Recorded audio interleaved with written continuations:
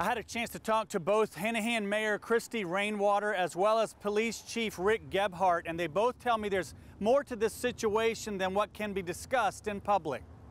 Officer Ken Duncan was sworn in as a Hanahan police officer last Tuesday. After that, people shared news stories of Duncan's arrest back in 2018 for impersonating a police officer and unauthorized use of signal lights for emergency vehicles we actually cannot talk about it. It would be illegal because the whole situation has been expunged. So people that did not have um, all the information in front of them are making a lot of decisions when people who had all of the information in front of them chose to act in that accord. He was employed by two other law enforcement agencies before Hanahan hired him, both post this this incident. Um, he was first employed by the Andrews Police Department and then by the North Charleston Police Department. Chief Gebhardt said while Duncan was hired before he took over as police chief, he does have information that cannot be publicly disclosed about the allegations.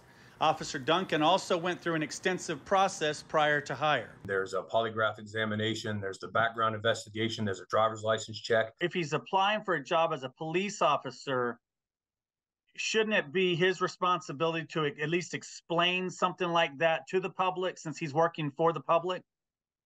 Absolutely not, because if the charge is expunged, it's like it never even happened. So he has that right to not have to disclose it because it's like it never existed. It is up to them if they'd like to do it or or not. But the truth is, there might not be much there to explain.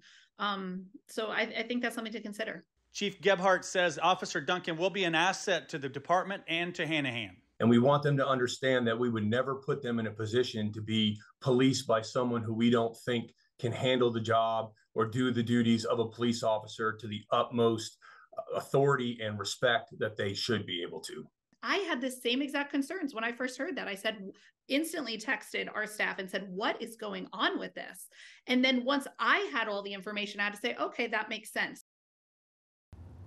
The city of Hanahan did release a statement about this as well. We have that posted at counton2.com. In Hanahan, I'm Raymond Owens. Count on 2.